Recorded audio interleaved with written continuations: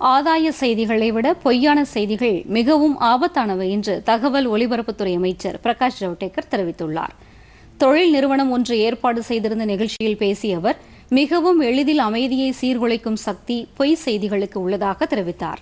கடந்த காலங்களில் தகவல் ஒலிபரப்புத்துறை அமைச்சகத்தின் பத்திரிகை தகவல் அலுவலகத்தின் ஊடகத்துறையை மேற்பார்வையிட செய்தித்தாள்களை படிப்பது தொலைக்காட்சிகளை பார்த்து மதிப்பிடுவது உள்ளிட்ட பணிகளை மேற்கொண்டு வந்ததாகவும் தற்போது சமூக ஊடகத்தை மிக தீவிரமாக மேற்பார்வையிட வேண்டிய அவசியம் ஏற்பட்டுள்ளதாகவும் கூறினார்.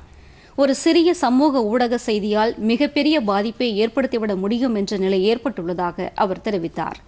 பொதுமக்களின் அமைதியான வாழ்க்கைக்கு சமூக ஊடகங்களில் பரப்பப்படும் பொய்யான தகவல்கள் எளிதில் பாதிப்பை ஏற்படுத்துவதாக அவர் கூறினார். பொய் செய்திகளை தடுப்பதற்கு அரசு பல்வேறு நடவடிக்கைகளை எடுத்து வருவதாகவும் இதற்காக குழு அமைத்து தகவல் ஒலிபரப்புத்துறை அமைச்சகம் மேற்பார்வையிட்டு வருவதாகவும் அமைச்சர் கூறினார்.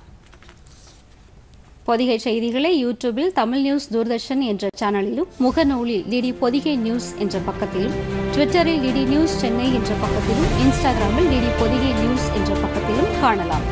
மேலும் உங்கள் கருத்துக்களை Podhigai DD news at gmail dot com என்ற மின்னஞ்சலில் தெரிவிக்கலாம்.